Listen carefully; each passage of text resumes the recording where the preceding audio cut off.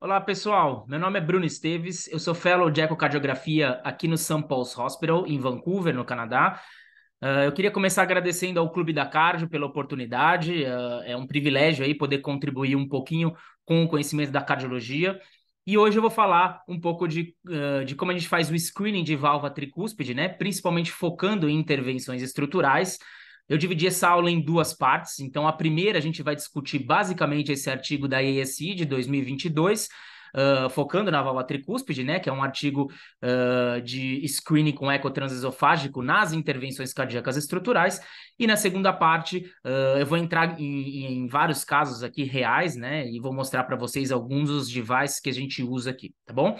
Então, essa primeira parte da aula eu dividi, a gente vai discutir base, é, basicamente a anatomia de válvula tricúspide, os planos de imagem que a gente né, vai precisar acessar aí os mecanismos de regurgitação tricúspide, que vai ser importante quando a gente estiver planejando uma intervenção, uh, quais são os pacientes né, que, ideais aí para esse tipo de intervenção por catéter, e algumas mensagens aí, referências para vocês. Então, começando com a parte de anatomia, por que estudar a válvula tricúspide, né? Por que esse interesse crescente aí uh, na válvula tricúspide? Porque a gente sabe já que insuficiência tricúspide significativa está associada a um prognóstico ruim para o paciente, né? Não só o prognóstico ruim, mas como sintomas aí, principalmente relacionados à insuficiência cardíaca direita, e com isso vem aí uh, várias opções de tratamento, né, nesses últimos anos, uh, incluindo as intervenções por catéter e que necessitam, né, de, de serem, serem, serem guiados por ecotransesofágico. A gente tem alguns desafios aí em relação à válvula tricúspide, porque ela é a válvula mais anterior e mais inferior, então muitas vezes isso dificulta, né? É uma válvula que fica normalmente nos planos esofágicos, fica um pouquinho mais distante do probe, então dificulta um pouquinho. É uma válvula que tem um orifício maior, né? Então, 7 a 9 centímetros quadrados. Então, a gente precisa de um largo campo de visão, e isso quando o paciente né, tem uma insuficiência tricúspide importante, muitas vezes esse orifício fica ainda maior. Os folhetos são muito mais finos do que o da válvula mitral, então às vezes também é um pouco mais difícil de você colocar esses folhetos, né, de, de você visualizar esses folhetos. E o plano do ânulus da mitral normalmente não é perpendicular ao nosso ultrassom, né, ao, ao feixe do nosso ultrassom, o que dificulta também uh, na aquisição de velocidades, por exemplo, aí, de uma, né, de, da regurgitação tricúspide. Algumas vantagens uh, em relação à válvula tricúspide comparado com as outras válvulas é que ela é imediatamente superior ao diafragma, né? Então, quando a gente uh, leva o nosso probe lá para para as visões mais profundas, né, no esôfago e até no, no, e principalmente no eixo transgástrico, a gente consegue deixar essa válvula um pouquinho mais próxima do probe, né? Uh, e aí facilita um pouquinho, a gente tem imagens, inclusive, melhores do que válvula mitral, válvula órtica, por exemplo, né? Uh, aqui eu queria discutir anatomia, principalmente em relação ao ânulus e aos, e aos folhetos da válvula tricúspide, começando pelo ânulus aqui, tá? O ânulus da válvula tricúspide ele é um formato complexo, elíptico aqui, como a gente pode ver, e não planar, tá? É 20% mais largo e, e menos simétrico do que da mitral, então é difícil colocar os folhetos no mesmo plano também. Ele, a gente costuma dividir em dois segmentos, né? O mural e o septal. Então, é o septal aqui marcado em vermelho e o segmento mural. Uh, e principalmente eu queria que vocês focassem no mural, porque o septal uh, ele não vai mudar, né? Então uh, ele está em contato aí com, com o coração, com o restante do coração, com o coração esquerdo. Então esse, esse plano aqui ele não, ele normalmente quando a gente tem uma dilatação do ânus ele não se altera. O que vai alterar é esse uh, plano mural aqui, né? Esse eixo mural, uh, que é o que, o que segue a, a, contração, a contratilidade do ventrículo direito, tá? Então é esse plano aqui que quando a gente tem regurgitações tricúspides funcionais, por exemplo, por dilatação uh, do átrio direito ou do ventrículo direito, uh, é esse plano aqui que vai se dilatar, né? E a gente já viu por estudos em 3D que, por exemplo, quando o paciente tem uma fibrilação atrial, né, muitas vezes um, um mecanismo né, funcional atrial aí para regurgitação tricúspide, essa borda posterior aqui que costuma expandir e uh, quando a gente tem doenças né, do coração esquerdo e que acabam né, é, progredindo aí para o coração direito, é esse plano anterior aqui que acaba uh, se expandindo. Então isso é importante também porque é esse plano que a, esses planos que a gente vai tentar aproximar aqui, uh, por exemplo, num reparo de válvula tricúspide uh, para corrigir essa insuficiência tricúspide. Falando um pouquinho rapidamente dos folhetos também, tá? Três folhetos, então, para a válvula tricúspide, né? Classicamente, claro que pode ter, pode ser, esses folhetos podem ser subdivididos, chegar até cinco folhetos, mas classicamente folheto anterior, septal e posterior, tá? Então, folheto anterior aqui, que é o maior, e ele tem esse, um formato mais quadrangular, o folheto septal, que ele é, ele é mais longo, né, circunferencialmente, mas ele é curto radialmente. Então, normalmente é esse folheto aqui que, uh, que às vezes acaba ficando, né, é, com tethering ou acaba ficando um pouco curto, é esse folheto que muitas vezes pode impedir né, um paciente de, de ter resultados bons aí com, com, com a intervenção por catéter, por exemplo, né? E o folheto posterior, que é um folheto intermediário e tem esse formato mais triangular, tá? 39% dos pacientes vão ter quatro ou mais folhetos, tá? E um terço desses pacientes que têm quatro ou mais folhetos vão ter, na verdade, dois folhetos posteriores. Às vezes é só um scallop, né, no folheto posterior, Uh, então, é, é, mas é, muitas vezes aí, é, e é bastante comum a gente pegar uh, dois folhetos posteriores. E para identificação do número de folhetos, por exemplo, a gente vai usar principalmente o eixo transgástrico e, e o 3D, que, que vai ajudar também, né? Então, como é que a gente vai fazer a identificação? Se a gente vê uh, uma movimentação diferente daqui do folheto adjacente, né? Então você acha que tem um scallop aqui no folheto posterior e uh, eles têm um movimento independente, esses dois scallops, então uh, provavelmente deve ser um, um, folheto diferente. Ou se tem uh, se tem fluxo de cor, né, ao redor desses folhetos, então a gente vai usar também para determinar o número de folhetos. E só para lembrar, no, no, que eu já mencionei, né, no mecanismo de, de regurgitação tricúspide funcional, a gente tem uma dilatação lateral desse ânus. Então, é esse, essa parte lateral, esse segmento mural, né, que vai dilatar. E muitas vezes a gente vai ter essa zona aqui de malcoaptação septal, né? Então é daqui, é aqui que a gente vai tentar uh, fazer o reparo uh, para corrigir essa zona de malcoaptação septal. Aqui só para mostrar, né, esse é um artigo da, da doutora Rebecca Hand, de 2021, uh, propondo uma nomenclatura pra, para os, o, né, os, o número de folhetos da válvula tricúspide. Eu não vou entrar em detalhes aqui, uh, mas só para mostrar que Uh, a gente pode ter basicamente todos os tipos de configurações, né? Dois folhetos anteriores, dois folhetos posteriores, dois septais, né? Tem até uma configuração de cinco folhetos, uh, ou uma mais uh, de, em relação a dois folhetos. Não vou entrar em detalhes, quem tiver interesse pode ir atrás do artigo, é muito bom, né? Todos os artigos da Rebecca Ram para a válvula tricúspide eu recomendo também. Falando um pouquinho agora dos planos de imagem, né? Então a gente vai ter planos uh, esofagianos, né? Então, uh, esôfago médio, esôfago profundo, os planos transgástricos e o 3D, né? Que eu vou, vou dar umas dicas aí uh, com base né, na minha curta prática clínica, mas muito focado nessa, nessa parte de intervenção estrutural, algumas dicas aí também para aquisição dessas imagens. Então, no plano, começando aqui pelo plano do esôfago médio, o quatro câmeras, né, a zero graus normalmente, com uma rotação uh, no sentido horário, a gente consegue deixar a válvula tricúspide no centro da imagem, como a gente pode ver aqui. E muitas vezes, uh, em grande parte das vezes, a gente vai ver né, o folheto septal e o anterior nessa visão. Né? Ah, e como é que a gente sabe que é o folheto septal e anterior? O anterior muitas vezes aparece por ser o folheto maior, então ele vai acabar aparecendo no plano, o septal, porque a gente sabe que o septo interatrial está aqui. Então, essa é a primeira dica que eu dou para vocês quando a gente está fazendo o screening de válvula tricúspide, a gente sempre observar as estruturas adjacentes, que é o que vai determinar qual folheto é qual, tá? Não é tão simples quanto a válvula mitral, que só tem dois folhetos, anterior ou posterior. Aqui a gente vai ter três e muitas vezes uh, uh, a, a, imagem pode enganar e a imagem 2D pode enganar. Então sempre, lembrem-se sempre, primeira dica, septo interatrial, o folheto adjacente vai ser o folheto septal. Uh, então, aqui, normalmente, a gente vai ver esses dois folhetos, septal e anterior, né? A gente pode até colocar o plano ortogonal para determinar qual folheto é qual. Uh, e aqui também a gente pode fazer né, uma avaliação tanto do átrio direito quanto do ventrículo direito uh, em relação à parte de função e, e, e, tamanho aí desses, dessas câmaras, tá? Então, aqui, só para lembrar mais uma vez, Eu já falei do, do, do, do, folheto septal, né? Que sempre que a gente vê o septo interatrial, a gente vai saber que é o folheto septal que a gente está fazendo, pegando na imagem. Mas também, sempre que a gente vê a válvula aórtica, o folheto adjacente vai ser o anterior. Uh, e o posterior vai ser uh, adjacente aí a, a, a parede posterior do ventrículo direito, tá? Eu vou dar umas dicas também em relação ao ao, ao seio coronário, que é importante também, tá? Mas vamos lá agora para outra visão, que é uma das visões que eu considero uma, uh, mais importantes aí para a intervenção de válvula tricúspide.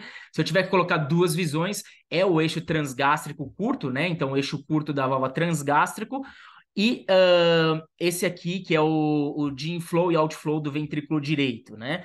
Então, esse plano aqui a gente normalmente pega ao redor de 60 graus, pode estar em qualquer lugar ali entre 30, 40 graus e às vezes 70, às vezes um pouquinho mais, mas normalmente aí ao redor de 50, 60 graus é onde a gente consegue esse plano. Então a gente vê aqui átrio direito, ventrículo direito, aqui a via de saída do ventrículo direito, válvula, uh, válvula pulmonar e uh, artéria pulmonar, tá? Então, esse é um plano fundamental. Nesse plano, como, eu, como a gente já disse, a válvula, a, aorta está aqui, então válvula aórtica aqui. Uh, esse aqui vai ser o folheto anterior, né? Esse é um folheto um pouco maior, às vezes ele até passa um pouquinho mais aqui. E o outro, nessa, nessa visão aqui do RV inflow, outflow, se você está vendo né, válvula tricúspide pulmonar aqui no, no campo, esse folheto vai ser o folheto posterior, né? Então, nesse plano a gente tem um folheto anterior e posterior. E o folheto septal, ele normalmente fica por trás do plano, né? Então, por isso, esse uh, é uma visão importante comissural da válvula. É, né, a gente faz a mesma analogia com a visão bicomissural da válvula mitral, né, que a gente coloca o plano ortogonal para determinar os mecanismos e tudo mais, até ver se tem prolapso. Aqui a gente vai fazer a mesma ideia, né? Então, se eu coloco o meu, meu, meu plano, meu X-plane aqui no folheto, nessa parte que está o folheto anterior, eu vou abrir Uh, os folhetos anterior e septal na minha imagem, né? Então aqui, por exemplo, a gente está colocando o plano ortogonal, uh, mais próximo aqui, né, da, da válvula órtica. Então a gente vai abrir o plano septal, o folheto septal e o folheto anterior. Da mesma forma, se a gente coloca o, né, o nosso plano ortogonal, nosso eixo aqui, mais no, no, no folheto posterior, a gente vai abrir o folheto septal que está por trás né, desse plano e o posterior uh, vai ser o folheto que a gente está fazendo a imagem. Então, esse aqui é importantíssimo para a gente determinar o mecanismo de onde está vindo, se é mais anterior, se é mais posterior. A gente consegue ver justamente aqui e é daqui que a gente guia os procedimentos também. Né? Então, por exemplo, se a gente for fazer né, um reparo um edge-to-edge -edge repair aí com um triclip, por exemplo, a gente vai, fica nessa imagem com o X-Plane e a gente vê aqui... Uh, Uh, a gente vai acompanhando nas duas imagens, né, o clipe e ver se, se a gente consegue capturar os folhetos nessa, nessa imagem ortogonal, tá? Então, como eu já falei, folheto anterior, adjacente à válvula órtica, posterior, que também que vai aparecer nesse plano, e o septal fica por trás do plano, né? E aqui é importante, uh, então, é, como eu já mencionei, né? Quando a gente coloca o, o, nosso plano mais na parte anterior, a gente vai abrir uh, a comissura entre o folheto anterior e septal. Se a gente coloca mais posterior, entre o septal e o posterior. E agora nas visões né, mais profundas aí no esôfago, tá? A visão mais profunda no esôfago que eu aconselho é uh, sempre começar de um quatro câmeras, daquela, daquela mesma imagem que a gente viu aqui, né, de esôfago médio. Então centraliza a válvula tricúspide aqui uh, no quatro câmeras e aí vai uh, pro, pro plano profundo, vai aprofundando, vai introduzindo mais o probe. Você vai começar a ver aqui o, o seio coronário e vai abrir essa imagem aqui. Então, quando você viu o seio coronário, você vê que a válvula fica bem mais próxima do nosso probe, né? Então, essa é uma visão importante uh, ah, para a gente, a gente consegue ter uma visualização até um pouco melhor.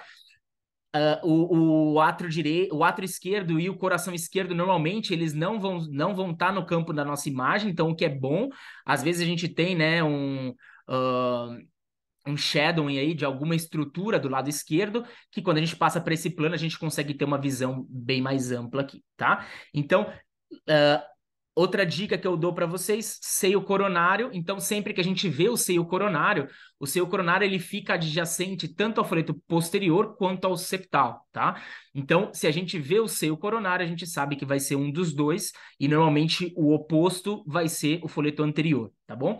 Então, nessa visão é importante aqui, uh, e a gente pode fazer, normalmente a gente vê o folheto posterior e anterior, né? Mas a gente pode também uh, colocar o explain. E a gente, e o interessante é que a gente, se a gente aumentar aqui o nosso ângulo, e, uh, se a gente em torno aí de 60 graus, que nem a gente fez no esôfago médio, a gente também vai ter uh, o, o, né, aquela visão de RV inflow outflow, então o inflow outflow do ventrículo direito da mesma forma e a gente pode guiar o procedimento por aqui também, tá? Então muitas vezes a gente tem, né, um sombreamento aí, às vezes, né, de, de uma horta ou de uma prótese mitral, por exemplo, a gente pode tentar visualizar um pouquinho melhor, inclusive durante o procedimento, e tentar fazer o grasping aqui dos folhetos nessa visão, é, chegando em torno de 60 graus, a gente tem a via de saída, né, o inflow e o outflow também uh, desse ventrículo direito e pode fazer as imagens normalmente, tá? E esse, esse é um detalhe interessante porque grande parte aí quando o, a gente precisa de uma imagem 3D, Uh, muitas vezes esse é o melhor, é a melhor visão que a gente tem, porque fica bem próximo do probe, exclui a, a, né, todo aquele sombreamento das estruturas do ventrículo esquerdo e a gente consegue uma, um, uma imagem em 3D bem melhor. Então, esse é um dos campos, e o transgasto que eu vou mostrar para vocês também é outro dos campos aí que são os meus preferidos para as imagens de 3D. Então, indo agora para os planos transgástricos, né? Uh, a gente pode ter né, um, uma, uma visão também do inflow e outflow aqui no plano transgástrico, que a gente normalmente pega em torno de zero graus, tá? Uh, e aí a gente pode colocar né, o plano ortogonal, a gente pode abrir o plano ortogonal, se a gente colocar ele na, né, na, na ponta aí dos folhetos, a gente abre a imagem transgástrica com os três folhetos classicamente, Uh, e aí isso pode ajudar a identificar a anatomia dos, do, dos folhetos, né? Então, muitas vezes, quando eu tento um eixo curto aqui, né? O eixo curto a gente consegue, então, aprofundando para o eixo transgástrico, muitas vezes a gente precisa, né, de uma antiflexão no probe, e algumas das vezes a gente precisa também de uma de uma de uma flexão para a direita, né, do probe para conseguir uh, essa imagem aí perfeita com os três folhetos da válvula tricúspide, né? Vai ficar mais claro aí quando a gente mostrar os, os as imagens né, reais, mas aqui Uh, essa é a outra imagem fundamental que eu diria para vocês. Então, duas imagens que a gente precisa ter uh, com uma visualização né, praticamente perfeita dos folhetos é a imagem uh, do esôfago médio, né, que, do, do inflow e do outflow do ventrículo direito, aí em torno de, de 40 a 60 graus, e essa no eixo transgástrico, né, o eixo curto da válvula tricúspide, em torno de 20 a 60 graus aí, com antiflexão do probe, né? Então, uh, vai aprofundando o probe. Quando você começa a ver os folhetos, né, aprofunda um pouquinho mais, antiflexão no probe, e às vezes precisa, né? Se você não consegue uh, os três folhetos no mesmo plano, vai aumentando um pouquinho, né? O, o aumenta um pouquinho aí os graus no seu probe e também tenta uh, uma flexão aí uh, para a direita que muitas vezes você vai conseguir essa imagem. Essa precisa ser um pouquinho trabalhada, uh, demora às vezes uns 5 minutos aí, 5, 10 minutos para a gente conseguir uma imagem perfeita, mas muitas vezes é possível, né? E aí a gente consegue identificar onde, onde esse jato de regurgitação tricúspide está saindo, né? Então aqui a gente pode ver um jato bem central, folheto posterior. Nessa imagem a gente vai ter o folheto posterior, folheto anterior. Se a gente ver aqui, a gente tem né, a aorta aqui, então esse vai ser o folheto adjacente, folheto anterior, e o folheto septal aqui relacionado com o septo interatrial tá? Então, uh, aqui que a gente vai ver, então aqui a gente está vendo um, um, um, jato de regurgitação tricúspide bem central, né? Pegando um pouquinho aqui também da parte anteroceptal, um pouquinho da posteroceptal. Uh, então, aqui é importante também. E é aqui que a gente vai orientar o nosso, o nosso reparo, por exemplo, uh, se a gente for fazer estiver pensando em clipe, né, um edge-to-edge repair, é aqui que a gente vai fazer a orientação, né? Então aqui, por exemplo, que a gente vai visualizar se o clipe está bem orientado, se ele precisa ser rodado, né, mais no sentido horário ou anti-horário, nesse plano e no plano 3D também que a gente pode utilizar. A gente pode também uh, ter o, fazer uma imagem em duas câmeras, né? Em torno de 90 a 120 graus, né? Então, aqui, uh, se, naquela mesma imagem do eixo curto, se a gente vai aumentando aí, né? O, o, os graus aí no probe, a gente consegue essa visão de duas câmeras, né? Com o átrio direito, ventrículo direito, valva tricúspide aqui, a gente consegue é, é, ter uma imagem, se a gente colocar também o plano aqui ortogonal, colocar o X-plane aqui na, na, na né, no, na ponta aí dos folhetos, a gente consegue abrir aquela mesma imagem do eixo transgástrico. Então, quando é que eu vou usar essa imagem? Quando eu não tenho certeza que os meus três folhetos estão no plano, né? Então, às vezes, a gente está tentando pegar uma imagem transgástrica em eixo curto, não está conseguindo, ou, uh, uh, não sei, parece meio estranha a imagem, você não está visualizando muito bem o folheto, você vem nessa imagem, coloca o X-Plane e vê como é a configuração da imagem do eixo curto, né? Então, vem dessa configuração, você volta lá no seu eixo curto e tenta pegar uma imagem semelhante, né? Então, essa é uma boa, uma boa dica aí quando tiver com dificuldade para o eixo curto. E a visão, né, do, do esôfago profundo, do, do, do, desculpa, do plano transgástrico profundo, né? Se a gente avançar um pouquinho mais o probe, também mantendo aí uh, a antiflexão e às vezes a flexão lateral aí para a direita, a gente consegue ter essa imagem que né, de, de eixo longo, e essa imagem é interessante porque a gente pode alinhar melhor o, o, nosso feixe de ultrassom, por exemplo, para pegar as velocidades aí de regurgitação tricúspide, tá? Esse plano aqui em torno de 120, 160 graus. E avançando para as imagens em 3D, né? Então, o Eco 3D é importante para entender a anatomia da válvula tricúspide, identificar número de folhetos, fazer aquela reconstrução mental que você pegou as imagens em, em 2D, mas você ainda não conseguiu né, ver ao certo aí, não conseguiu entender direito. Então, é, é uma imagem que às vezes né, é bem elucidativa aí do caso. Uh, pode ser. Uh, uh, você pode fazer aquisição de, de, do 3D em qualquer plano. Eu aconselho, se tiver um plano de esôfago, de esôfago profundo ou de transgástrico, uh, são os dois que, né, que a gente tem uma, uma predileção, justamente por estar mais próximo do probe, então você consegue uma resolução bem melhor. Uh, você consegue fazer a orientação né, de, da, da válvula tricúspide em face, né? Uh, e aí é importante a orienta, como é que a gente vai orientar esse 3D, né? Uh, o, o, o, o standard né, da orientação, que, é, que a gente chama de surgeon's view, né, a visão do cirurgião aí, é com o septo uh, interatrial numa posição inferior, ao redor de 6 horas, mas o mais importante, eu gostaria, porque às vezes é difícil você localizar o septo interatrial, mas se você pensar na válvula órtica, que é mais fácil de você colocar num plano de 3D, se você colocar a válvula órtica aí ao redor de 10 horas aí no relógio, uh, você consegue, esse é o plano uh, né, da visão aí padronizada do, do, da válvula em face, tá?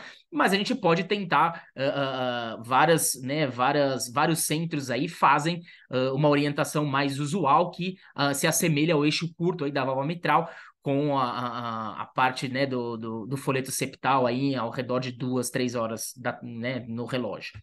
E aí aqui você pode fazer as medidas também, né, do tamanho dos folhetos, do, de se tem algum, né, algum gap aí de coaptação. Você pode fazer reconstruções, né, em múltiplos planos para pegar uh, a, a, a, área de vena contracta, né, a vena contracta area, e você pode calcular o ânulus da válvula tricúspide também, justamente para a gente uh, selecionar qual device a gente vai utilizar e pode quantificar também o stroke volume aí do, do ventrículo direito, é bastante importante. Uh, o 3D em face, então a gente vai ver, essa aqui é uma configuração que eles chamam de usual, então colocou-se o septo, uh, o folheto septal aqui, né, no, no, no, numa região aqui mais ao redor de três horas, né? Então essa aqui é aquela, aquela mesma, né, é, é, mimetizando o plano transgástrico. Uh, e então muitas vezes a gente faz essa imagem, guardem os planos esôfago profundo e o transgástrico aí nesse eixo curto são uh, onde a gente consegue melhor resolução.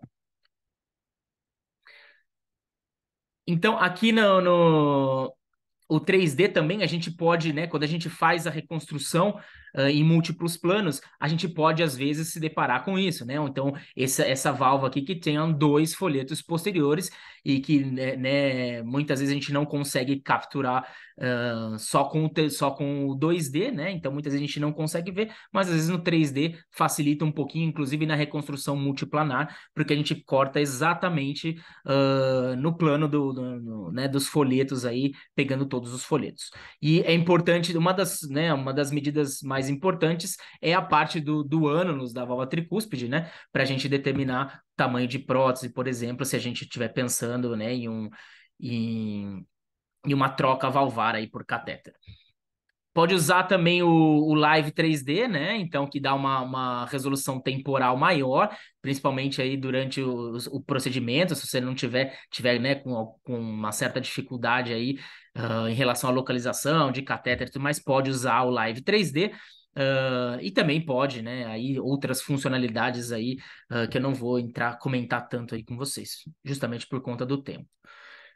Indo só para os mecanismos rapidamente, tá? Eu quero só focar. Claro que a gente tem mecanismos primários e secundários, mas eu queria focar só uh, mais na parte né, de, de incidência e de prevalência, na verdade, desses dos tipos de regurgitação. Então, a minoria dos casos, né, 7, mais, aproximadamente 7% dos casos aí vão ser de incidência primária, e dessas primárias, a maior parte aí, dois terços, vão estar relacionados com dispositivos né, implantáveis aí uh, e que acabam afetando uh, o funcionamento da válvula tricúspide, né? Por exemplo, uh, um, por exemplo, um, um marca-passo, né? Então, um, um, fio de marca-passo aí, né? Um, um, um lead de marca-passo pode uh, perfurar a válvula ou pode né, é, restringir o movimento do, de um dos folhetos da válvula e criar um mecanismo aí primário, né? Uh, outras, outras coisas, por exemplo, numa biópsia, né? Que, como a gente já teve aqui, então uma biópsia e que acabou tendo uma perfuração do folheto, né? Então, esses são mecanismos primários aí, a maioria vai ser relacionado a isso. Uh, claro que a gente pode ter né, doença mixomatosa, anomalia de Epstein, mas aí uh, vão, vai ser bem menor a incidência. E o que a gente vai focar é no que tem a maioria, então no, mais de 90% dos casos são uh, incidências tricúspides secundárias, e aí pode ser tanto uh, funcional atrial como né, funcional do ventrículo direito também. Então, A, a, funcional, né, né, a clássica registração tricúspide funcional por dilatação, né, do, do, do, ventrículo direito, pode ter disfunção ou não, mas isso normalmente leva a um tethering aí dos folhetos, né, e só que leva uma dilatação do ânus que não é tão significativa, né? A gente vê que é menos, muitas vezes, do que uh, na funcional atrial. Então, é na funcional atrial que a gente vai ter a maior dilatação aí do, do ânus da válvula tricúspide, né?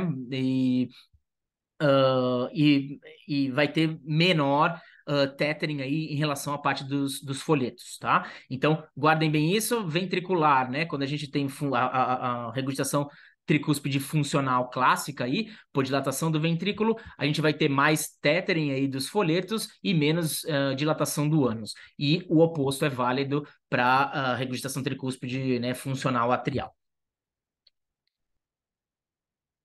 Aí só uh, né, o que a gente chama quais pacientes, né, são ideais aí pro, são candidatos ideais. E aqui eu vou focar um pouquinho uh, nessa parte e inclusive na parte dos casos no reparo, né, de ponta a ponta, no edge to edge repair com o clipe, por exemplo, né? E porque é o que mais exige do, do ponto de vista de imagem e do ponto de vista de anatomia, né? Então é o que tem mais critérios aí uh, que podem deixar o, né, que, que podem deixar o paciente aí inapto para esse tipo de procedimento, tá? Uh, os outros normalmente não são tão, é, né, não são tão, tão agressivos em termos de critério, né? Então são bem mais tranquilos em termos de critério, é mais em relação a, a, ao ânulus mesmo do que uh, detalhes de anatomia, tá? Então o candidato ideal aqui para um edge-to-edge repair.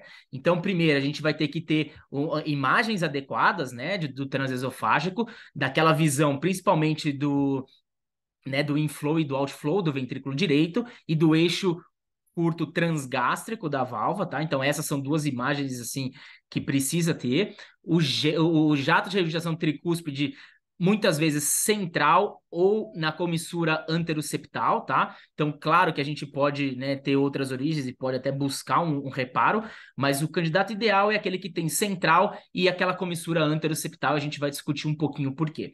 Né, os, os gaps aí, né, eu diria, então, uma outra coisa importante é não ter muito, não ter um gap né, é, de cooptação muito grande. Então, o ideal é que seja menos de 7 milímetros, e isso é mais pela aproximação dos folhetos mesmo, né? Que acaba se tornando difícil uh, se tem um gap muito grande, o clipe, né, que, que a gente vai fazer o reparo, acaba não conseguindo fazer o grasping dos folhetos, né, fazer a captura dos folhetos aí.